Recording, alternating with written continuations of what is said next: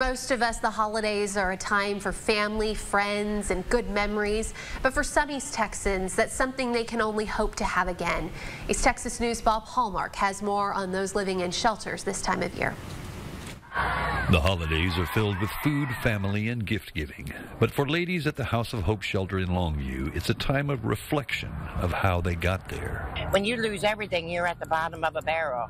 People don't realize how lonely it actually is. Um, we tried to bring them in and show them the love and try to restore them one at a time. Most are recovering from homelessness, alcohol or substance addiction, or domestic abuse, and most are alienated from their families. Taking that first step in the shelter can be scary. You didn't know anybody, and if you've never been in that situation, you're going to naturally be nervous. Their fellow shelter residents, in many ways, have become their family. The ladies here, we, we feel like family. We, we connect as family. Support these girls and make them feel loved and that they have an extended family out in the community.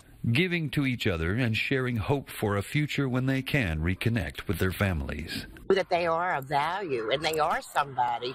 Many have found their way back. They come back two or three years later and they say, This is what's happened, and now I'm reunited with my children. Uh, I get to see my mom, my dad. I, I'm clean and I'm sober and I'm working. Those are the best stories.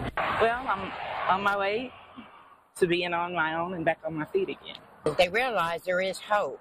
It does not matter what you, where you come from. What matters is where you're going. Bob Hallmark, East Texas News. Well, the House of Hope Women's Shelter in Longview has been in operation for 18 years. It's helped thousands of women reclaim their lives and reconnect with family. Just incredible.